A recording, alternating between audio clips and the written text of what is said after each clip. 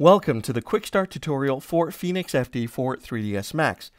In this video, we look at how geometry objects can be used as solid and non-solid bodies inside simulations to control interactions with objects such as spaceships crashing into water.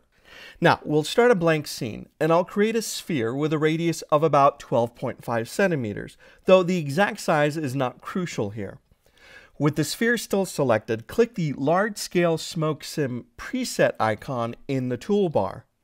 In the Modify panel, Grid Rollout, adjust the sim's resolution by clicking the Decrease Resolution button a total of six times to get a total cells size of about 5,000 voxels to have faster feedback.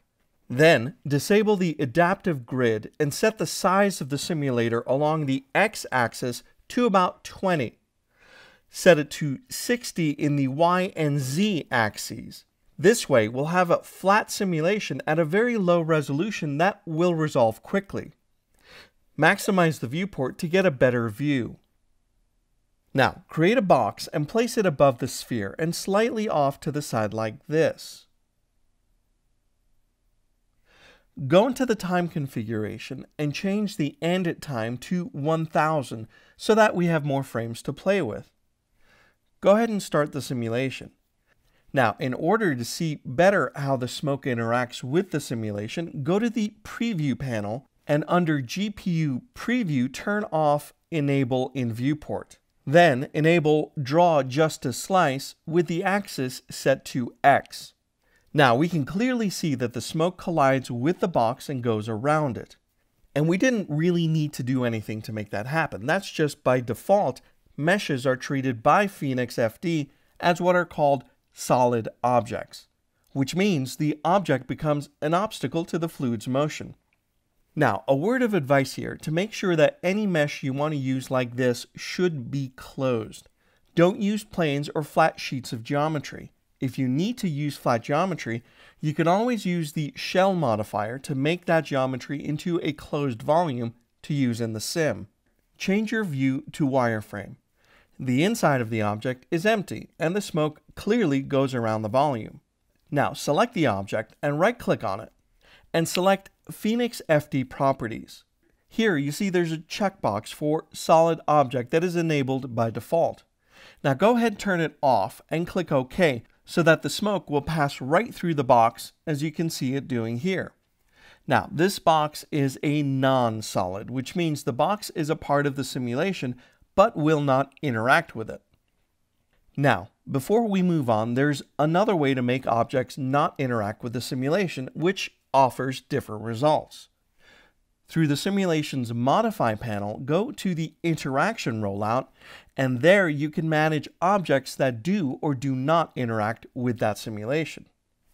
The difference between a non-solid object, like we have right now, and making an object excluded from interaction, like through the UI I just showed, is that a non-solid object like this can be used as an emitter, or by forces, or as a render cutter, or birth volume, for example.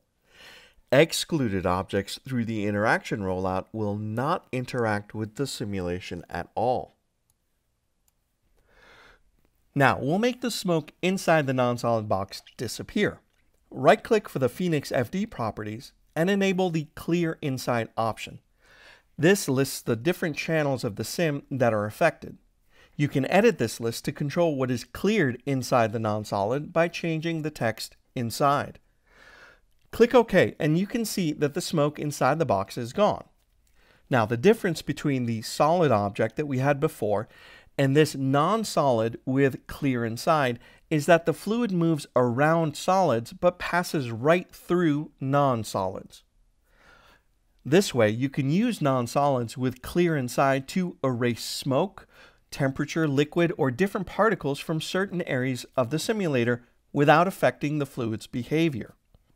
Create another box in the scene that's similar to size to the first one. Move it up inside the container in the path of the smoke, and it actually traps some of the smoke inside its volume. When creating or moving a solid object inside a fire smoke simulation container, it can trap fluid channels inside it, but that does not apply to liquid simulators. Now, in moving this box around some more, you can see that some of the smoke trapped inside the volume earlier is still stuck inside, and it may capture more. Again, that's because by default all objects are treated as solid objects, so the smoke cannot escape once it's inside. So right click on that second box, choose Phoenix FD Properties, turn on Clear Inside, and press OK and the smoke is gone from inside that box. Now finally, select the first box and disable the clear inside so the smoke goes right through it. Now the box on the left is a solid object and the box on the right is a non-solid object. Now let's see what that means a little more. Moving the non-solid box inside the simulator does not change the behavior of the simulation, but if I move the solid object box, it affects the smoke simulation. You can see right here how the smoke gets pushed to the side. Now, you can control how strongly a moving solid affects the simulation, again, from its Phoenix FD properties using the parameter motion velocity effect. Now, let's see some of this in action. We're going to crash a spaceship into a body of water. Just don't tell my insurance company we'll be okay. We're going to use solids and see how the motion velocity effect works and how we can work with foam and splashes in our simulation. You can start with the scene file spaceship crash 2016 start.max. So here we have a spaceship crashing into the ocean. Here's our ship and our ocean. And this geometry plane is just for preview purposes for the animation. So I'm going to go ahead and hide it. And let's create a Phoenix Ocean. Choose the Setup an Ocean preset from the Phoenix FD toolbar. Select it and make it a bit smaller with a grid size of 150 by 150 by 93. And then click to decrease the resolution twice to have a lot faster feedback. Position the simulator a little bit more like this, moving it closer to the camera in Y and then a little lower in Z. In the Modify panel, Dynamics Rollout, change the scene scale to 0.04 because this ship model is actually smaller than what the Ocean preset expects. Okay, Stop the simulation around here at around frame 68 or so. I'll go into the perspective view for a second so I can scrub the simulation and take a look. So when the spaceship crashes, it makes a pretty small splash, not quite the dramatic effect we're going for. Now, since the animation is already complete and approved, this is going to be the speed of the crash, so we'll need to adjust the simulation to react more toward a more massive splash. Select the ship and right-click for the quad menu and select Phoenix FD Properties. Here is the motion velocity effect parameter that I mentioned before, and this will make the simulation act as if the speed of the ship is multiplied. So, entering a value of 5 means that the ship will affect the splash as if it were moving 5 times faster than its animation actually is. I'll reposition my grid a bit to better center the splashdown, and then I'll start the sim. Now, as I elapse about two minutes of sim time, you can see a much bigger and more dramatic splash. Stop the sim, perhaps around frame 35, and scrub the animation a bit to study the new splash. You can see that there are some particles that are going outside of our simulator. Now let's say we don't need these splash and foam particles outside the simulator grid, since that's going to speed up the simulation to not calculate them outside. So let's go ahead and delete them. Go into the Create panel and create a box. Make it taller than the simulator and place it a little bit like so on the side of the grid, making sure to overlap the grid on the side to help guarantee that it can clear those errant particles before they leave the grid. The plan is to delete only the foam and splashes particles and leave the liquid particles unaffected. Right click on the box and choose Phoenix FD Properties uncheck solid objects so the box won't affect the simulation. And turn on clear inside and then type in foam comma splashes to clear only those types of particles from the sim and then press OK. Start the sim again and I'll elapse about 10 minutes of time and you can see that the particles that were going through this side are killed, but I promise they didn't feel anything. Now, we do have a few rogue particles still coming from the bottom and from the other sides, but we can always make more of these kill boxes to take care of those as well. Now let's look at the camera view and see how this splash looks when we render it out. Now for a few rendering tips. Open the Scene Explorer.